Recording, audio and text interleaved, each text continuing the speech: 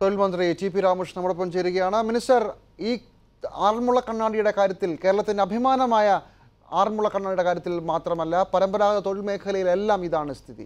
ഇനി ചെറുകിട കച്ചവട സ്ഥാപനങ്ങളാണെങ്കിൽ ഒരു ഹോട്ടൽ ഉദാഹരണമായി എടുത്താൽ അത് തിരിച്ചു വരാൻ എത്ര കാലമെടുക്കും? അതുമായി ബന്ധപ്പെട്ട ആളുകൾക്ക് തൊഴിൽ കിട്ടാൻ അപ്പോൾ അങ്ങനെ തന്നെ സമയമെടുക്കും. കാർഷിക മേഖല തിരിച്ചു വരാൻ അപ്പോൾ കാർഷിക മേഖല തൊഴിലിന് ഇതൊക്കെയാണോ വലിയ വെല്ലുവിളി? നവകേരളം നിർമ്മിക്കുന്നതിന് മുമ്പ് ഈ തൊഴിലാളികൾ ജീവിച്ചിരിക്കണം എന്നുള്ളതാണ് വളരെ പ്രധാനപ്പെട്ട ഒരു കാര്യം. മന്ത്രിയുടെ പ്രതികരണം ഈ വിഷയത്തിൽ ആദ്യം. ഇത് ഇതിന്റെ ഇതിനകത്ത് വരുന്ന താങ്കൾ പ്രകടിപ്പിച്ച ഒരു അഭിപ്രായം. ഈ ഷോപ്പിംഗ് മേഖ ഷോപ്സിലുള്ള തൊഴിലാളികളെ സംബന്ധിച്ചാണ്. ഇപ്പോൾ ഗവൺമെന്റിന്റെ ഒരു പ്രഖ്യാപനം നിങ്ങൾ ശ്രദ്ധിച്ചിട്ടുണ്ടാവും എന്നാണ് ഞാൻ കരുതുന്നത്. ഈ സ്ഥാപന ഉടമകൾ വ്യവസായി ചെറുകിട കച്ചവടക്കാർ അവർക്കെല്ലാം പത്ത് ലക്ഷം രൂപ വരെ വായ്പരഹിത ലോണായിട്ട് കൊടുക്കുന്നതിന് വേണ്ടി തീരുമാനിച്ചിട്ട് അല്ല ഈ ഈ പലിശരഹിത ലോണായിട്ട്. പലിശരഹിത വായ്പയായിട്ട് നൽകുന്നതിന് ഗവൺമെന്റ് തീരുമാനിച്ചിട്ടുണ്ട്.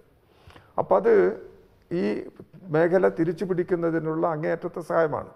പലിശയില്ലാതെ സമയബന്ധിതമായി കടമെടുക്കുന്നതിന് അവസരമുണ്ടാക്കി കൊടുക്കുകയാണ് ചെയ്യുന്നത്. ഇത് ചെറു ചെറുകിട കച്ചവട മേഖലയിലെല്ലാമുള്ള പഴയ സ്ഥിതി പുനഃസ്ഥാപിക്കാമെന്ന് മാത്രമല്ല കുറച്ചുകൂടി മെച്ചപ്പെട്ട അന്തരീക്ഷം ഉണ്ടാക്കുന്നതിന് വേണ്ടി കഴിയും.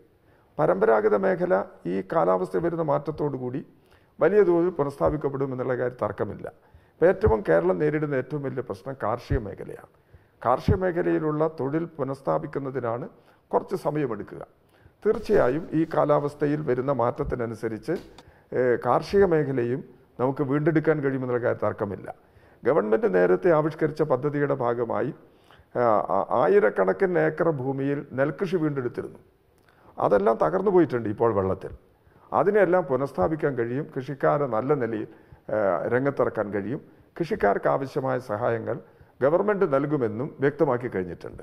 അപ്പോൾ ഗവൺമെന്റിന്റെ സഹായം കൃഷിക്കാരുടെ സന്നദ്ധത പരമ്പരാഗത മേഖലയിലെ തൊഴിൽ വീണ്ടെടുക്കുന്നതിന് വേണ്ടിയുള്ള കൂട്ടായ പരിശ്രമങ്ങൾ തൊഴിൽ തൊഴിലാളികളും ഉടമകളും അതുപോലെ മറ്റെല്ലാ വിഭാഗം ആളുകളും. ഇതെല്ലാം കൂടിച്ചേർന്ന ഒരു കൂട്ടായ പ്രക്രിയയുടെ ഭാഗമായി സ്ഥിതിഗതികളിൽ അതിവേഗം മാറ്റമുണ്ടാക്കാൻ കഴിയും എന്ന് തന്നെയാണ് ഞങ്ങൾ ഉറച്ചു വിശ്വസിക്കുന്നത്. മിനിസ്റ്റർ ഇങ്ങനെ തൊഴിൽ മേഖലയിൽ നമ്മൾ പുനർനിർമ്മിക്കുമ്പോൾ പുതിയ നയ സമീപനം കേരളം പ്രതീക്ഷിക്കാമോ? ഞങ്ങൾക്ക് പ്രതീക്ഷിക്കാം. അല്ല ഇതിനകത്ത് നിലവിലുണ്ടായിരുന്ന തൊഴിൽ സംരക്ഷിക്കപ്പെടണം. അതിന് സഹായകരമായ അന്തരീക്ഷം ഉണ്ടാക്കാൻ സാധിക്കും. പരമ്പരാഗത മേഖലയെ എല്ലാം പുനർ പുനരുദ്ധരിച്ച് കൂടുതൽ സജീവമാക്കാൻ കഴിയും. അത് തന്നെയാണ്. ഇപ്പോൾ കേരളത്തിന്റെ ഒരു അനുഭവമുണ്ട്. കേരളത്തിന്റെ കൈത്തറി മേഖല. കൈത്തറി മേഖല പാടെ തകർന്നു പോയതായിരുന്നു. കൈത്തറി മേഖല തിരിച്ചു പിടിക്കാൻ കേരളത്തിന് കഴിഞ്ഞില്ലേ? സ്കൂൾ വിദ്യാ വിദ്യാർത്ഥികൾക്ക് സൗജന്യ യൂണിഫോമിലൂടെ അതിന്റെ ബാധ്യത ഗവൺമെന്റ് നിർവഹിച്ച് കൈത്തറി മേഖലയിൽ വൻ തൊഴിലവസരങ്ങൾ സൃഷ്ടിച്ചിട്ടുണ്ട്. ഈ മാതൃക നമ്മുടെ മുമ്പിലുണ്ട്. ഇതെല്ലാം വെച്ചുകൊണ്ട് ഇത്തരത്തിലുള്ള സന്നദ്ധ പ്രവർത്തനങ്ങളിലൂടെ സ്ഥിതിഗതികളിൽ അതിവേഗം മാറ്റം വരുത്താൻ കഴിയും എന്ന് തന്നെയാണ് പ്രതീക്ഷിക്കുന്നത്. കേരളത്തെ പുനർസൃഷ്ടിക്കുക പുനർനിർമ്മാണം തന്നെയാണ് ലക്ഷ്യമിടുന്നത്. ബഹുമാനപ്പെട്ട മുഖ്യമന്ത്രി അത് അർത്ഥശങ്കയ്ക്കിടയില്ലാത്ത വിധം വ്യക്തമാക്കി കഴിഞ്ഞിട്ടുണ്ട്. ധനസമാഹരണത്തിന്റെ മാർഗങ്ങളെക്കുറിച്ചും ഗവൺമെന്റ് ആലോചിച്ച് കഴിഞ്ഞിട്ടുണ്ട്. മിനിസ്റ്റർ ഒരു രാജ്യം അല്ലെങ്കിൽ ഒരു സ്ഥലം പുനർനിർമ്മിക്കുമ്പോൾ നമ്മൾ പ്രതീക്ഷിക്കുന്ന തകർച്ചയുടെ കണക്ക് ഒരു വശം നിൽക്കുമ്പോൾ തന്നെ ഒരുപാട് അവസരങ്ങൾ കൂടി വരും. തൊഴിലവസരങ്ങൾ പ്രത്യേകിച്ചും. കേരളം പുനർനിർമ്മിക്കപ്പെടുമ്പോൾ അങ്ങനെ ഒരു ശുഭകരമായ ഒരു സാധ്യത കൂടി തൊഴിൽ മേഖലയിൽ ഉണ്ടാകില്ലേ? പലരും അതും ചൂണ്ടിക്കാണിക്കുന്നുണ്ട്. ഇതൊരു വലിയ അവസരമാണെന്ന് കൂടി. ഈ പ്രതിസന്ധിയിൽ നിന്നും കേരളം രക്ഷ നേടും എന്ന കാര്യത്തിൽ യാതൊരു ആശങ്കയുമില്ല.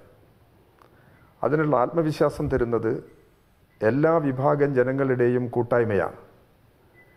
പ്രകൃതി ദുരന്തത്തിന്റെ ഭാഗമായി കേരളത്തിലുണ്ടായ പ്രളയം മണ്ണിടിച്ചിൽ ഉരുൾപൊട്ടൽ. ഈ ദുരന്തങ്ങളുടെ ഭാഗമായി ലക്ഷക്കണക്കിന് തൊഴിലാളികളുടെ ജോലിയെ അത് ബാധിച്ചു കഴിഞ്ഞിട്ടുണ്ട്. പ്രത്യേകിച്ച് പ്ലാന്റേഷൻ മേഖലയിലെ തൊഴിലാളികൾ നിർമ്മാണ മേഖലയിലെ തൊഴിലാളികൾ പരമ്പരാഗത വ്യവസായ മേഖലയിലുള്ളവർ ചില സംഘടിത വ്യവസായങ്ങൾ ഉൾപ്പെടെ തൊഴിൽ മേഖല വലിയ തോതിലുള്ള പ്രതിസന്ധിയാണ് നേരിടുന്നത്. ഇപ്പോൾ വെള്ളം ഇറങ്ങിക്കഴിഞ്ഞു. ഇപ്പോൾ ഗവൺമെന്റിന് മുമ്പിലുള്ള ഏറ്റവും പ്രധാനപ്പെട്ട പ്രശ്നം ആദ്യഘട്ടത്തിൽ ജനങ്ങളുടെ ജീവൻ രക്ഷിക്കുക എന്നുള്ളതാണ്. ഇപ്പോൾ ക്യാമ്പുകളിൽ നിന്നെല്ലാം വീടുകളിലേക്ക് പോയി അവരുടെ താമസം ഉറപ്പിക്കുക സുരക്ഷിതമായ താമസ സൗകര്യം ഉണ്ടാക്കുക. വീട്ടിൽ താമസിക്കാൻ കഴിയാത്തവർക്ക് എല്ലാവർക്കും താമസിക്കുന്നതിനുള്ള പ്രത്യേക സൗകര്യം സൗകര്യം ജില്ലാ ഭരണകൂടവും തദ്ദേശ ഭരണ സ്ഥാപനങ്ങളും മുൻകൈയെടുത്ത് ഏർപ്പാട് ചെയ്യുകയാണ്. നഷ്ടപ്പെട്ട തൊഴിൽ ദിനങ്ങൾ അതിവേഗം തിരിച്ചു പിടിക്കാൻ കഴിയും എന്നുള്ളതാണ് പ്രതീക്ഷിക്കുന്നത്. ഈ കാലാവസ്ഥയിൽ വന്നിട്ടുള്ള മാറ്റത്തിന്റെ ഭാഗമായി പ്ലാന്റേഷൻ മേഖല സജീവമായിട്ട് വരികയാണ്. കുറച്ച് സമയമെടു പൂർവസ്ഥിതിയിൽ എത്തിക്കാൻ കുറച്ച് സമയമെടുക്കുമെങ്കിലും അതിവേഗം ഈ പ്രശ്നങ്ങൾക്ക് പരിഹാരമുണ്ടാകും. കേരളത്തെ പുനർനിർമ്മിക്കുന്നതിന് വേണ്ടിയുള്ള പ്രക്രിയയിൽ നിർമ്മാണ മേഖലയിലെയും അസംഘടിത മേഖലയിലുമുള്ള തൊഴിൽ തിരിച്ചു വരികയാണ്. അപ്പോൾ കുറച്ച് അല്പസമയമെടുക്കുമെങ്കിൽ പോലും അതിവേഗം തൊഴിലന്തരീക്ഷം തിരിച്ചു വരിക എന്ന് മാത്രമല്ല തൊഴിൽ പുതിയ തൊഴിലവസരങ്ങൾ സൃഷ്ടിക്കപ്പെടുകയും ചെയ്യും. മുഖ്യമന്ത്രി തന്നെ വ്യക്തമാക്കിയിട്ടുണ്ട് പഴയതിലേക്ക് തിരിച്ചു പോവുക എന്നത് എന്നതല്ല പ്രധാനം. കേരളത്തെ പുനർനിർമ്മിക്കുക എന്നുള്ളതാണ്. ആ പ്രക്രിയയിൽ ധാരാളം തൊഴിലവസരങ്ങൾ ഇവിടെ തൊഴിലാളിയുടെ മുമ്പിൽ തുറന്ന് തുറന്നിടാനാണ് സാധ്യത. അതുകൊണ്ട് ഈ പ്രശ്നത്തിൽ ഇന്ന് നിലവിൽ രൂപപ്പെട്ട് വന്നിട്ടുള്ള പ്രശ്നങ്ങളിൽ താൽക്കാലികമായ ചില പ്രയാസങ്ങളുണ്ടെങ്കിലും ഒരു തരത്തിലും ആശങ്കപ്പെടേണ്ടതില്ല. ജനങ്ങൾ നൽകിയിട്ടുള്ള സഹകരണം വലിയ തോതിലുള്ള ആത്മവിശ്വാസമാണ് കേരളത്തിനാകെ നൽകുന്നത്. പ്രത്യേകിച്ച് ഗവൺമെന്റിന്റെ ഓരോ നടപടിയിലും ജനങ്ങൾ വലിയ തോതിൽ വിശ്വാസം അർപ്പിക്കുകയും ജനങ്ങൾ പിന്തുണ നൽകുകയും ചെയ്യുന്ന നിലപാടാണുള്ളത്. ആ ആത്മവിശ്വാസമാണ് മുഖ്യമന്ത്രിയുടെ ഓരോ പ്രതികരണത്തിലും കേരളീയ സമൂഹത്തിന് കാണാൻ കഴിയുന്നത് എന്നുള്ളതാണ് ഇപ്പോഴത്തെ സാഹചര്യത്തിന്റെ പ്രത്യേകത. വളരെ നന്ദി മിനിസ്റ്റർ ടി പി രാമകൃഷ്ണനോട് സഹകരിച്ചത്